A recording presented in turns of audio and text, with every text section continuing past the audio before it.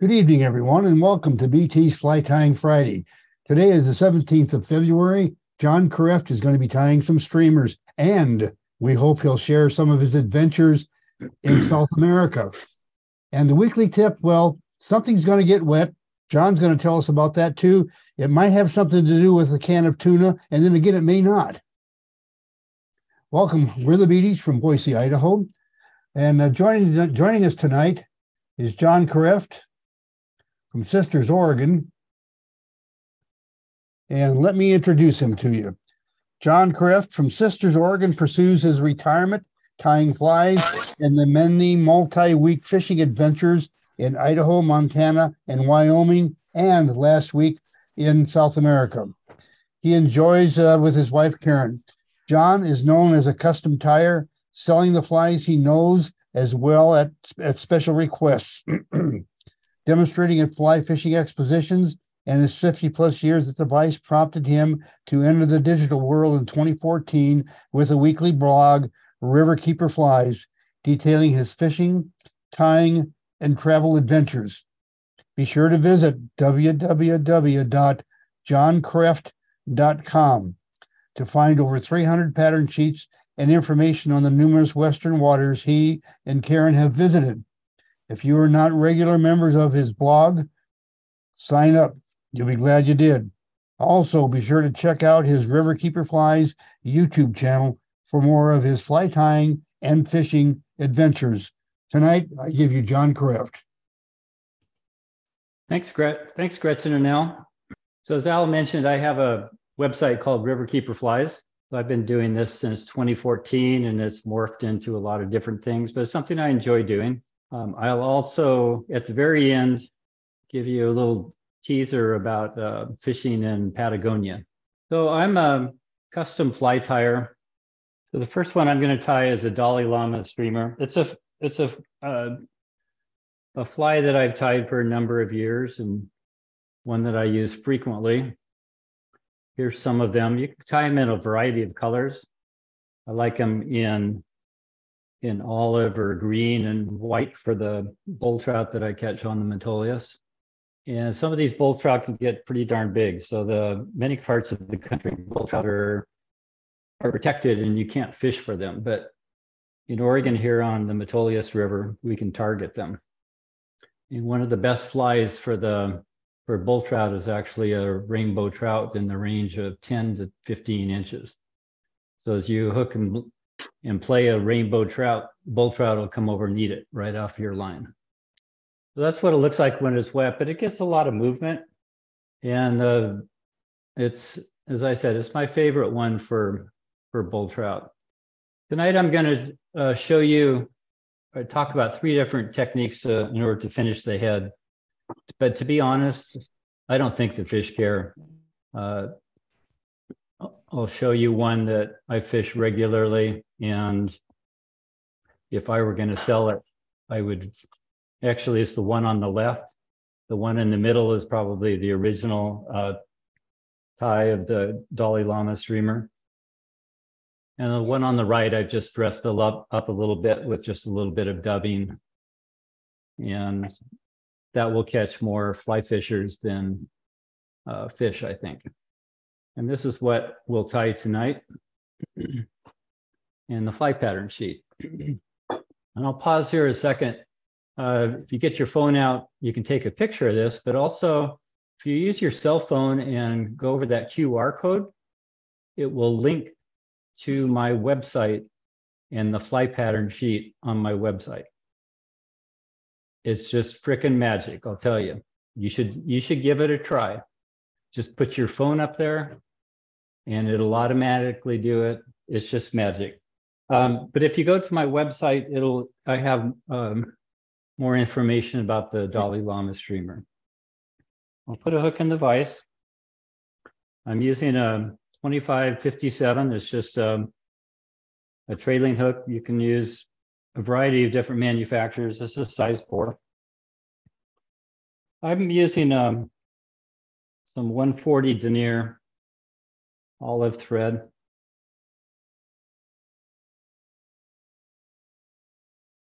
Take a strip of um, olive, wrap it, This happens to be from the original fly. It's got some black barring on it. I like that, but you can use whatever you like.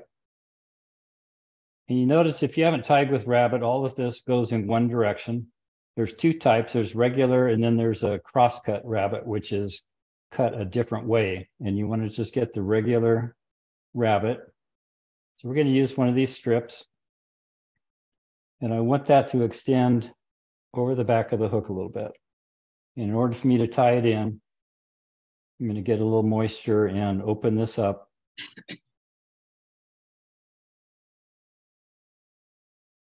My goal is not to tie down much of the rabbit strip at all.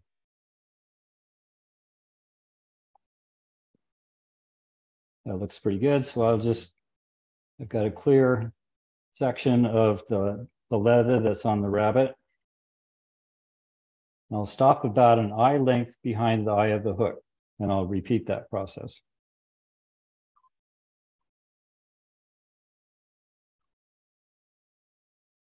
You can use something sharp just to stick between the um, the rabbit fur.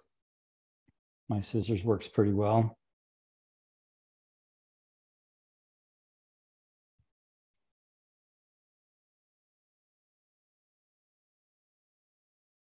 And I'll pull this back. So I'll put in the fly line back, you know, which is when you should do it.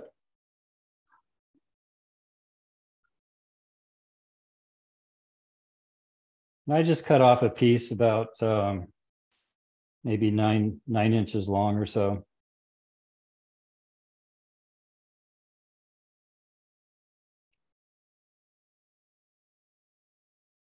And I've just made those so they're fairly even on the on the back end here.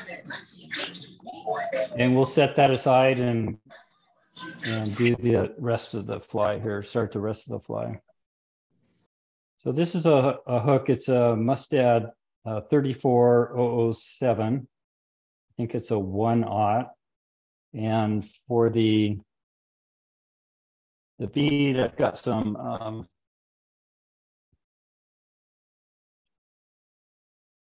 It's a cone head 3 8 inch. I'll give you a tip. When you put this on, make sure that you um, grip down that barb because it has a, a tough time going around the hook. Now we're going to tie this, but at the end of it, I'm going to clip this off. So it doesn't matter what hook you use. The only thing I'm using really is the shank.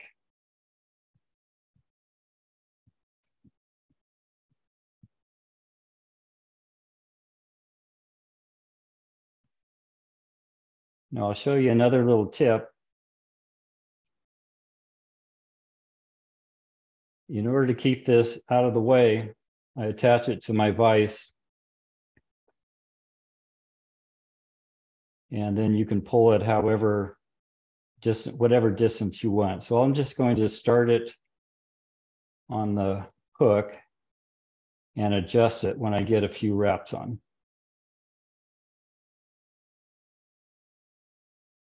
Now I want these, I don't want any any twist in the uh, in the fly line backing here. So I want to make sure that those are are fine. This is going to come over the top and you can just adjust the length of the fly by how far you use this trailing, how you attach the trailing hook. I like about an inch down there. So I'm going to leave it on both sides and just carefully with my thread torque, make a kind of a soft wrap so that these, the fly line backing stays on top of the hook.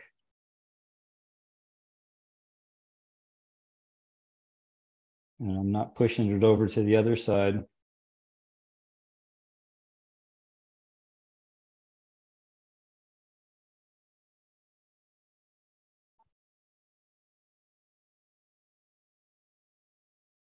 So if you use force, you'll push all of this to the other side and it will it will not ride straight. So that's why I'm trying to make kind of a soft piece on the top and then pull down tightly. I'll go up a little bit into the eye or the cone. Now I used to go ahead and, and thread these through the eye of the hook and then come back. But I found that it doesn't make any difference. I don't have a problem with this pulling out with some big fish. You saw that big bull trout. So I'm just going to go back with touching turns, tight touching turns. I hold my fly line backing up at a kind of a 45 degree angle that keeps it directly on top of the hook.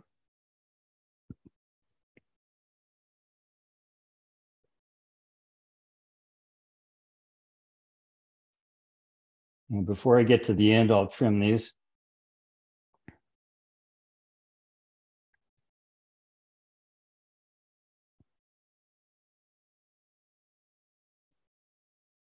And we'll be all set. I'll pull this forward, pull the rabbit forward. I'm going to moisten my fingers again so I can get a nice clean tie in here. I'm not pulling tightly on the rabbit. I'm just trying to keep it directly on top of the hook. If you pull too tight, then you'll have the, the fly line backing will actually um, buckle in here. So I want to, I'd like to keep it so it's just not taut, but not loose.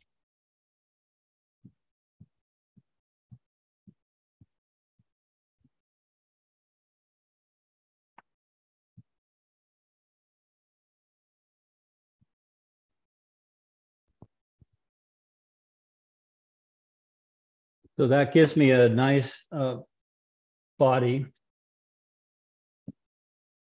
And I'll pull it back out of the way and wind my thread right behind the cone.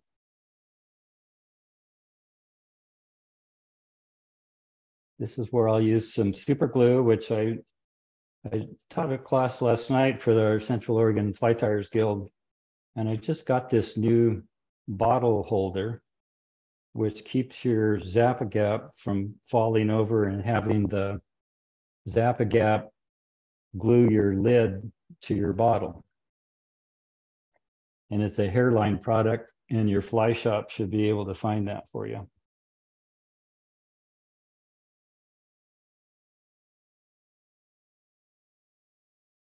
I'm going to coat the, the body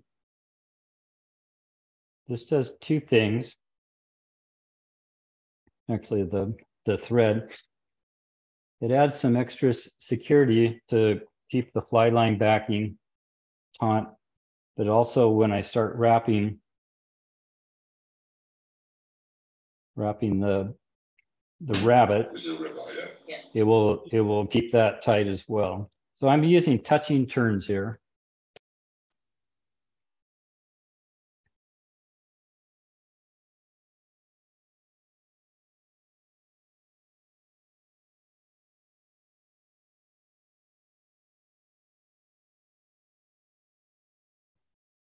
And I keep pulling the rabbit out so I don't bind any down. And I'm right at the cone head and it will start filling in the cone.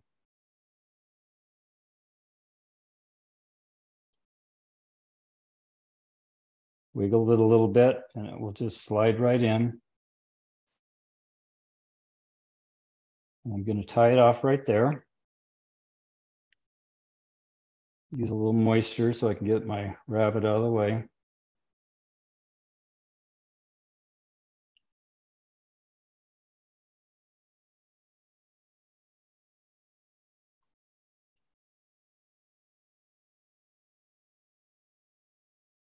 Now I will give you one word of caution. When you're tying these flies and you slide your fingers back like this, remember that there's not only one hook, there's two hooks.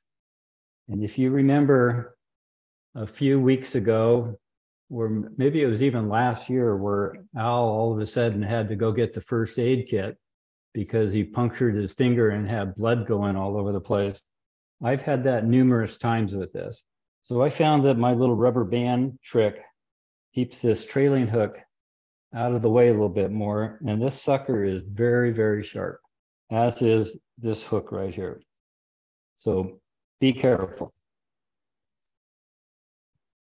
The next step, I will put in some uh, white rabbit strip. And for that, I'm just going to uh, take the rabbit off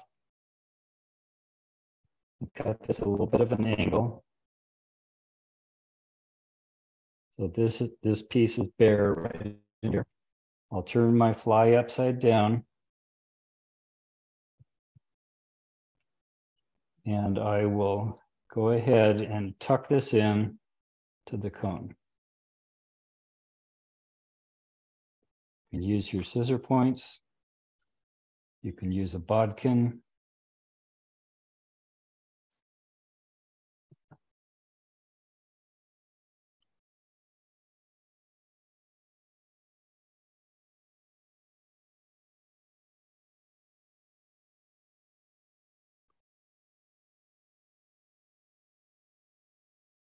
Now, I should have told you if uh, I kept this on so I could finish the fly in a little bit different way, but you can certainly just cut that off. Here's what your fly will look like. It's a little messy because you can see the thread wraps in here. But that's why I say this, this fly will catch fish using the other two methods will catch more fly fishers, but both of them, all of them will catch fish.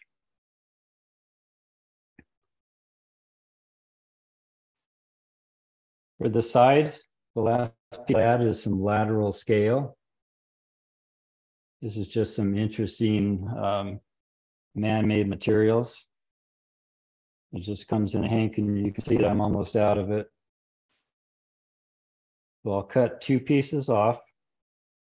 And I just fold it around my thread, make it even. And just place it right on the side of the fly.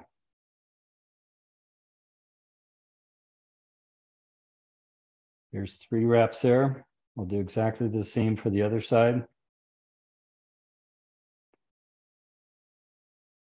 Pull it out of the way, add a little bit extra. And I have found that on occasion when I'm catching fish with this fly, sometimes that will pull out. So I'm just going to use a dab of super glue right in there.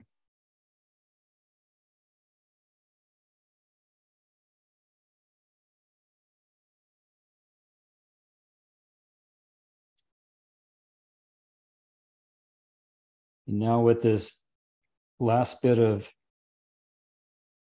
of rabbit, I'll make another wrap or so to finish the head.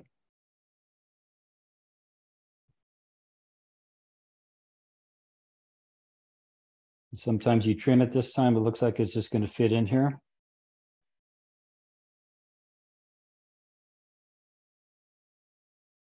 So I just tucked it in. Again, it was the, the butt end of that rabbit.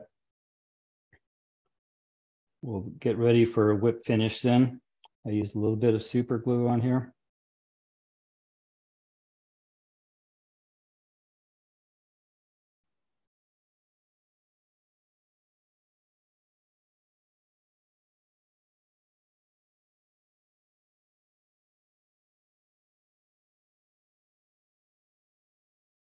The thread. Got two more steps to do. The first is to, I'll trim this white. And I want it, would like it to make a cut right where this hook is. I don't want to trim all of the rabbit. I just want to trim the fur, or excuse me, the, the leather piece. So I just carefully take my scissors. We'll trim the leather. And you'll notice that the remaining rabbit fibers cover the hook then, but it won't foul the hook. And I'll just trim it at an angle a little bit shorter than what the green green rabbit is. It folds back and all of that is, is right there. Now we'll remove the, the fly from the vise.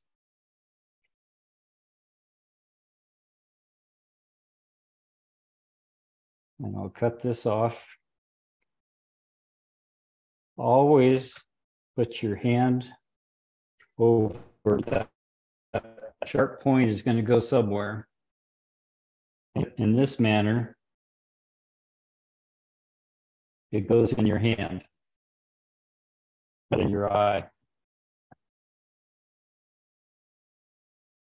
So there's the, the cut hook. It'll stay out of the way and you'll end up hooking your fish with this trailing hook. So that's a Dolly Llama streamer. Again, you can tie those in any color you want. I like um, some black and purple. That's been an effective fly for me as well. But you could certainly experiment with a lot of different colors. There we go for a second. So this falls into the category, Al, when he introduced me, said that I tie a variety of flies. And this is a fly that was brand new to me. I'd never heard of it. Uh, somebody, uh, frequently people contact me and ask if I can tie a certain fly. They may even attach a fly pattern sheet to the to their email or a link to a YouTube video or something. And this is a customer that lives close uh, close to me, and he fishes in Baja, and he wanted a a fly that imitated a sardine in the salt. And I had never tied anything like this before in my life. And it really intrigued me. And these are the flies that I ended up selling them. You can tell they've got some different colors to them. You can do them in a variety of colors. And these were the fish he was catching. So if you look carefully, those are my flies in the mouth of those fish. And I just got the biggest kick out of that. So when I talk about durability of flies in a minute as I tie this fly, you'll understand why is so important. Because these, these fish are big and strong and have teeth. This is one that I'll tie tonight. It'll be uh, an olive, olive and white. Um, but I'll show you some examples. I've got the other examples here that um, are more of a sardine color. Again, here's the fly pattern sheet. And there's a QR code for you. And give me just a second and I'm going to move some materials around. This one is a messy fly, I'll tell you that. What I've been doing is uh, laying out a variety of materials that I'm going to tie on the fly. And I found if I lay those in advance, it makes tying the fly that much easier. This is a Gamakatsu. Uh, you could also use the the other hook that I just had, which was a Mustad 34007. But if you're going to tie anything in for the salt water, you want a, a hook that is built for salt water. And the reason is with the if the fish gets these and nicks it, it will rust. And when you spend as much um, time and money buying the materials for this fly, for thread, I'm just using some monofilament. So you can buy this, uh, I think it's 0.006, and this is the fly we're going to tie.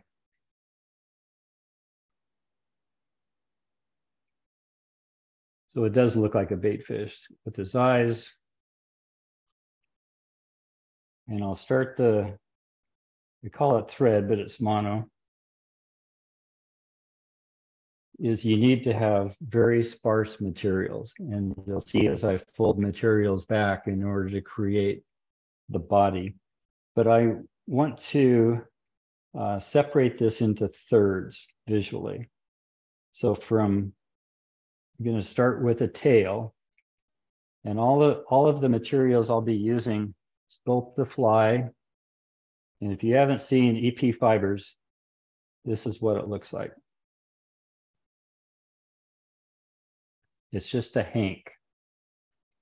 And see this little point right here? I added that.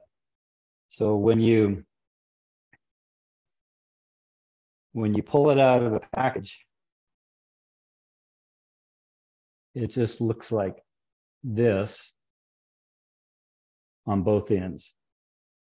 And if you pull it out and you pull a few fibers back, there is no way in the world you're going to get it back into this plastic container.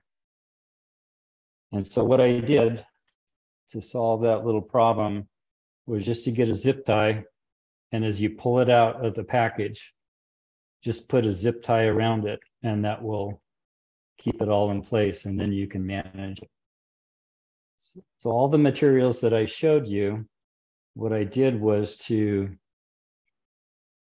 pull some fibers out like this.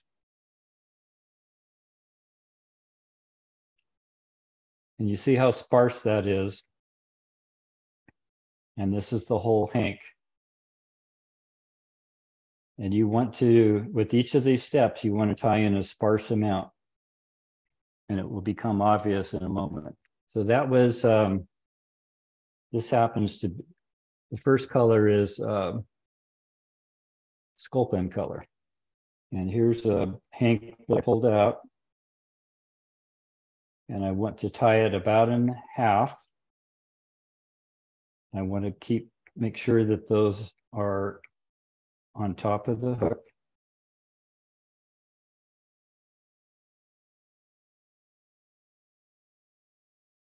And I'll turn it over. EP fibers is the color is bait fish, but bait fish belly. It has a little bit of flat Again, it's a whole length of hank. And I'll tie that in, making sure that those fibers are all on the bottom of the hook. And I'm tying backwards now to the tie-in point of the first one. Now the trick is not to make not to mix those feathers together or those um, materials together. I'll fold them back, take it out of my vise. Um, what I'll do is try to manage so I get half of the material on each side of the hook. So that's the reason why I take it out of the vise. You can see I just kind of comb it back and that starts to be the shape of the fish. So you can see where my tie-in point was. My thread is at the back. And I'll go forward.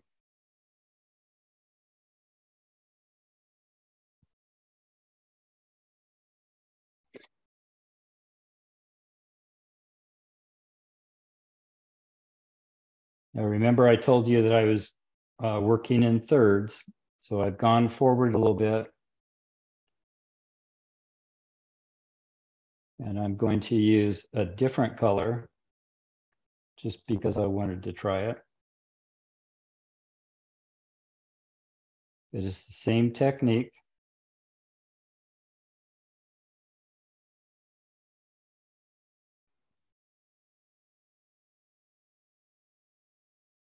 That happened to be um, some picture.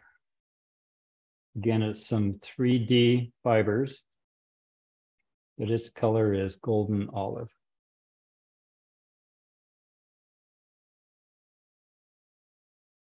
I'll use another section of bait fish belly, the whole size, trying to get it evenly distributed.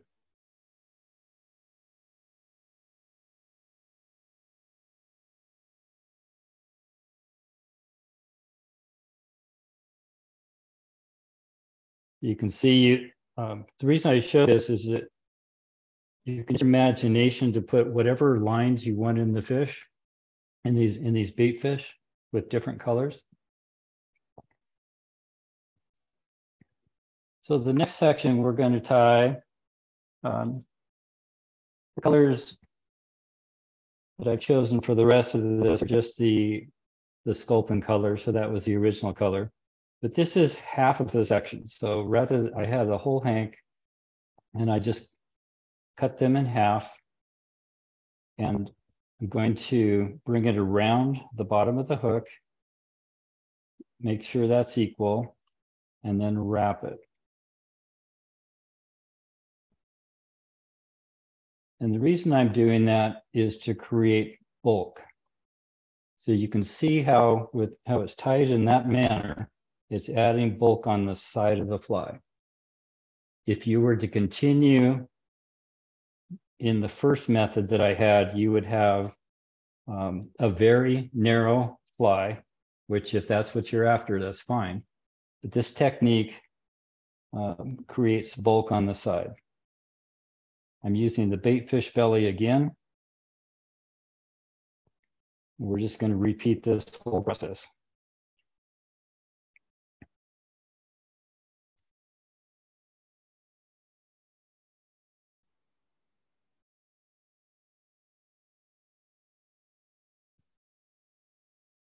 And move forward. Remember, I'm in my second two thirds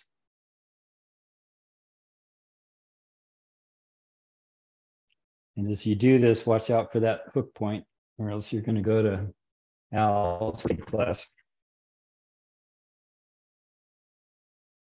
I'll repeat the process again, same materials.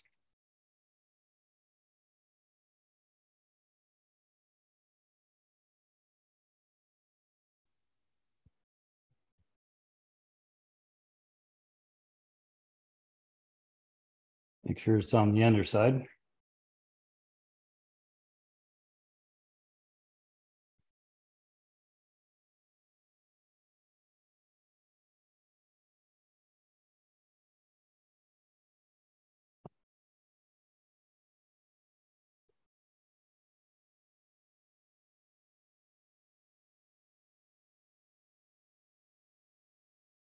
And you can see how much bulk it is on the side now.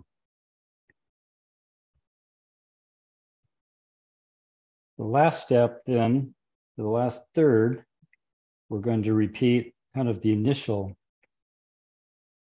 the initial wave. So I want this on top and I want to move this around just a tiny bit. I've gone back, we'll repeat that process for the bottom. Again, this is a half of a hank.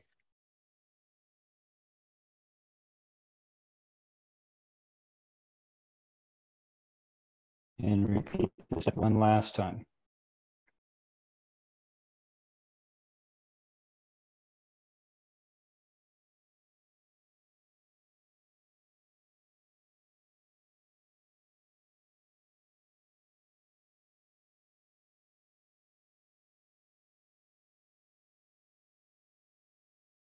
And now I'm just going to wrap.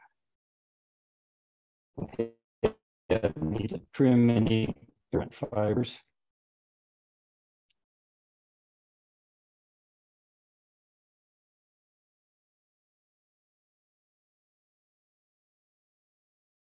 We'll trim this and then immediately put on some UV resin.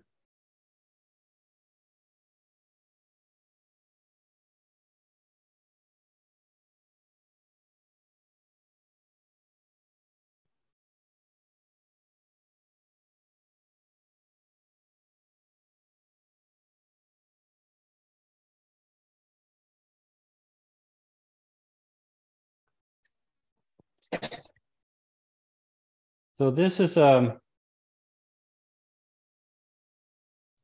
this is a little finger brush that I got from Hareline as well.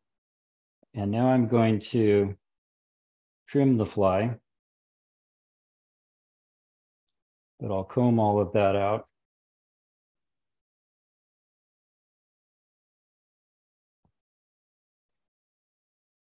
take it out of the vise. And I'll start a trimming process here.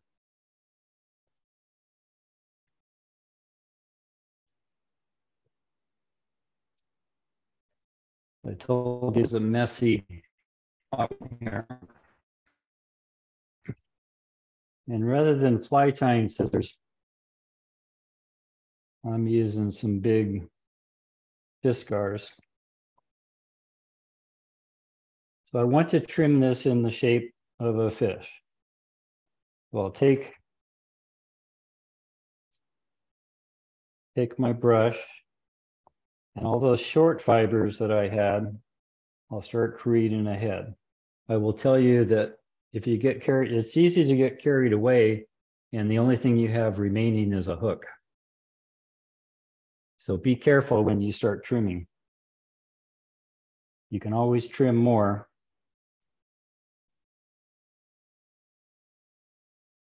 I'll trim a little bit at a time. Pull the, the head fibers out. And then for the tail,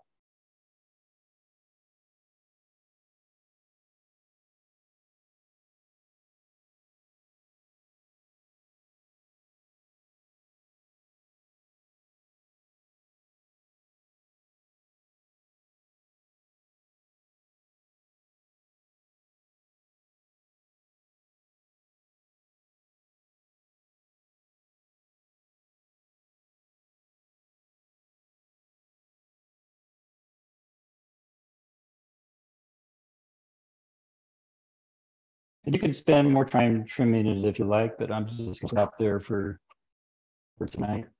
I'll trim these small fibers because I'm gonna, oh, that'll be, you'll see why in a moment.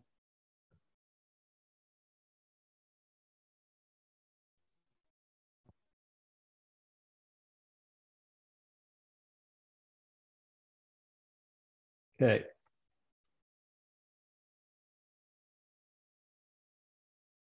Next step is add some eyes.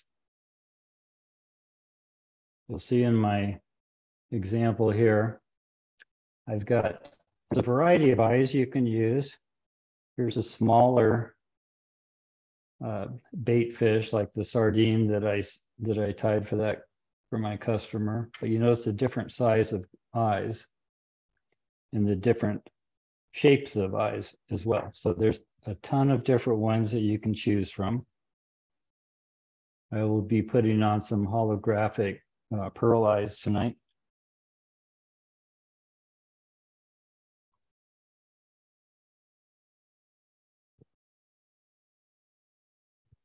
And they stuck on a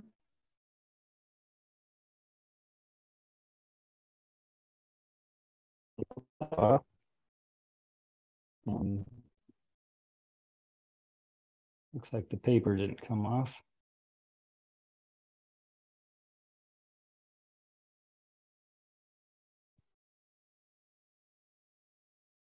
I'll use that on a different flight. Oh, maybe. There we go.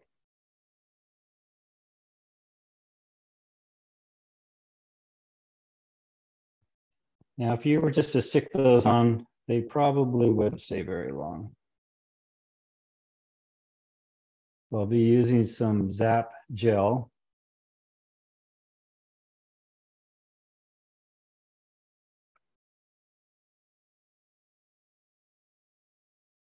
I'll take a big gob, put it on my bodkin.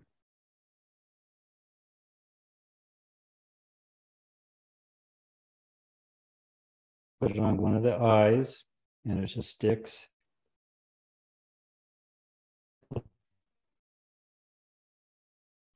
You want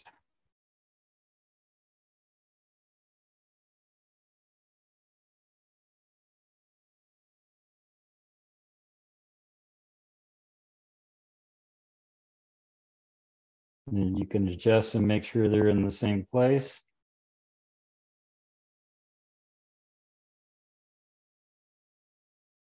And those will stick pretty well.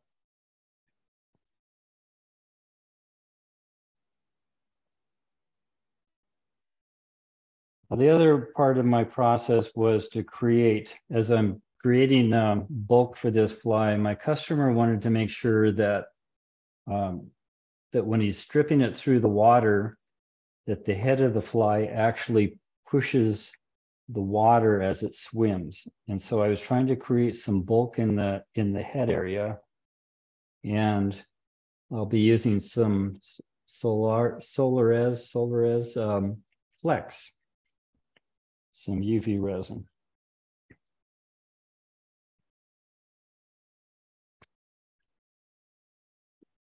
And this one, I, I use quite a bit of it.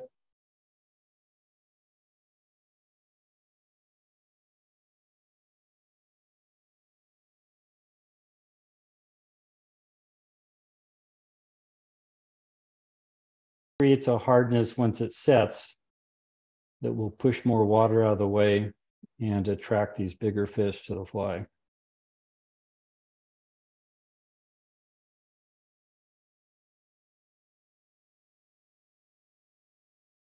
That's where I want it.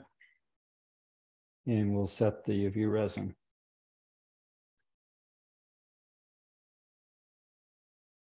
And I was amazed when I got this flex resin. I'll, I'll uh, show you how it, how it um, reacts here in one second.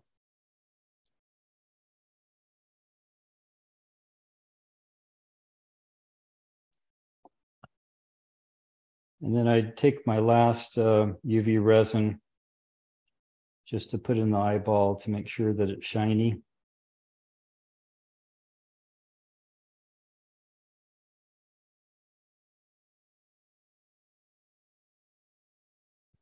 And then you can squeeze that and it's almost like rubber, which is pretty amazing because it's soft, but it also provides some bulk in order to manage, um, or not manage, but to create the ability for this fly to push some water a little bit and make, um, get some of the fish's attention. So that's uh, my version of an EP bait fish fly. You can just tie them in a lot of different colors. And uh, if you look at the EP fiber charts, there's so many different colors. It's just really amazing. Okay, and to, now for the weekly tip. One of the things that we normally do, but tonight we're going to have John Kreft actually take the uh, bull by the horns, if you will, and he's going to give us the weekly tip. I've been just dying all week to know what a can of tuna yeah. has to do all this.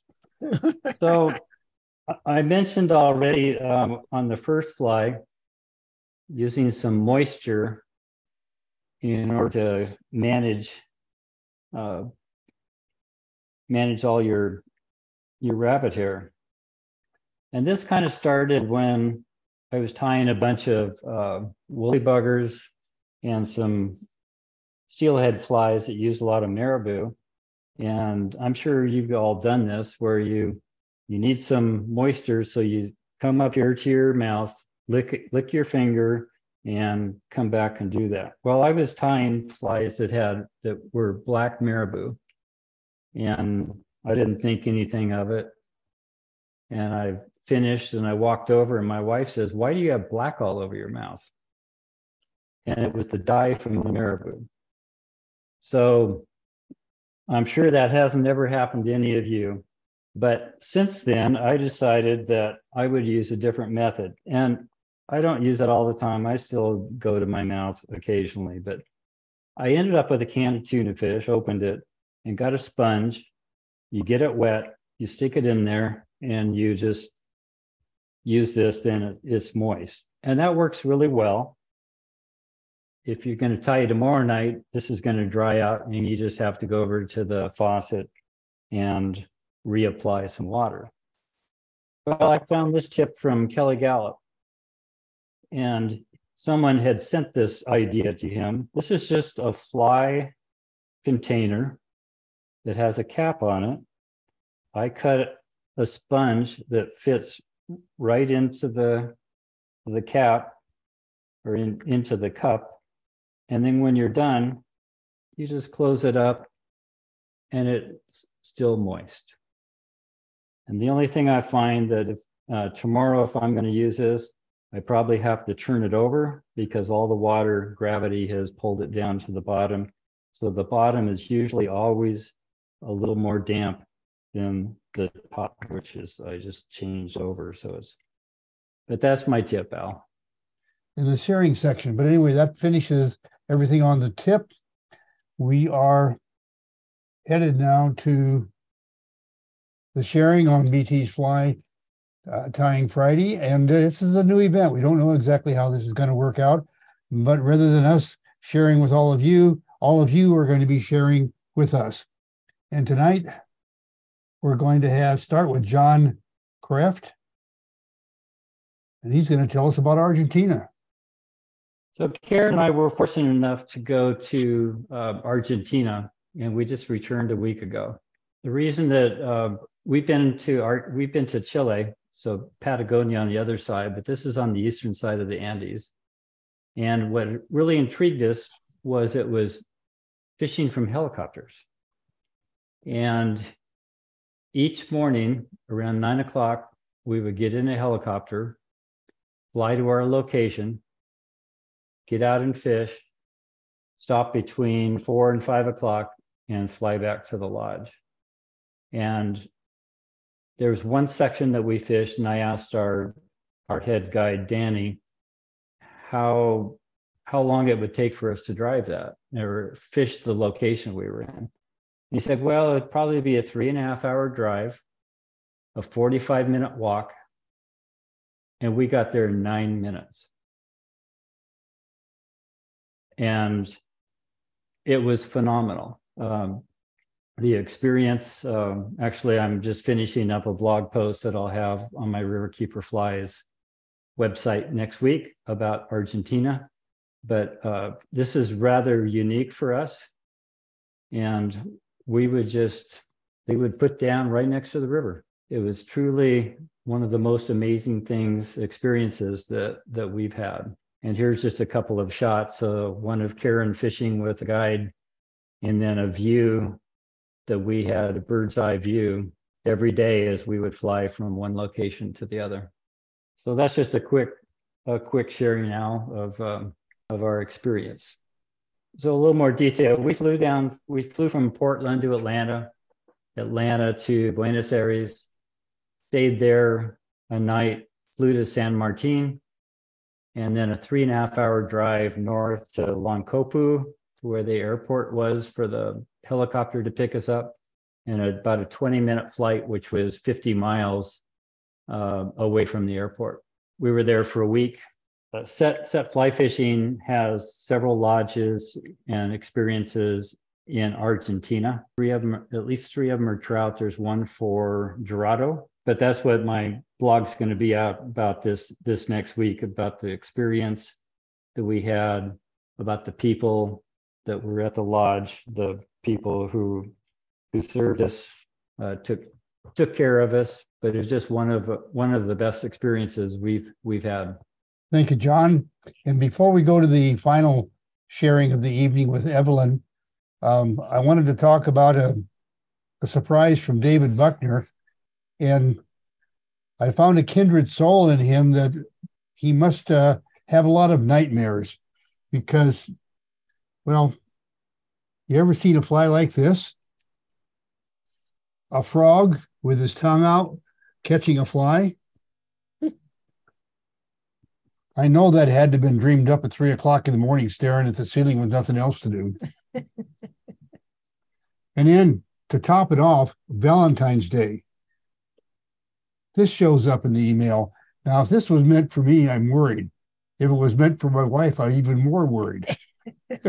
anyway, I wanted to spotlight David Buckner for a minute and let him talk to us about. It was interesting that that uh, the frog fly sent a buddy of mine a, a uh, deer hair frog that I, I, tied, and shortly after that, I seen some pictures of dry flies, and he said, okay, a frog eating fly. And it just it put the thought in my mind. And um, yeah, I couldn't wait to get up the next morning to to tie that guy. It was a lot of fun. That's a that's a size 30 um, dry fly on the front there. and on the on the Valentine's fly, I just I like to tie holiday flies and um, just thought about a, a heart, deer hair heart. and that's what that is. Love it. Well, that's just about as cool as I've as I've seen. Anything else on this, David? No, sir. That's it. Thank you. Well, there's a there's a young lady that we just absolutely enjoy sharing her artwork with all of you. and Evelyn, it's all yours. Show us what you got. Okay. Here's the Dolly Llama streamer. Love it. Beautiful. And the thing is, I start off with doing the hooks and then start going piece by piece. And of course, it gets lost sometimes. And there are pieces in there that don't belong there, as you will see. And this one is the uh, EP fish bait. And see what it says cut on dotted lines. So when you're done tying, you have there. okay. I love that. I love that. that. Okay, and that's it for this week. Uh, we sure enjoyed having you all join us. Hope you like the new feature called sharing. But for now and this week, that's a wrap. We'll see you next week.